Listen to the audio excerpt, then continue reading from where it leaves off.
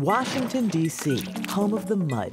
D.C. politicians sling mud and tell lies. Take professional politicians Tommy Thompson and Mark Neumann. First, Neumann attacked Governor Walker. Now, Neumann and Thompson are attacking Eric Hovde. No wonder. Neumann's trying to hide his four votes to raise the national debt limit. Thompson's trying to hide his support of Obamacare. Tommy Thompson, Mark Neumann. They're what's wrong with Washington. I'm Eric Hovde, and I approve this message.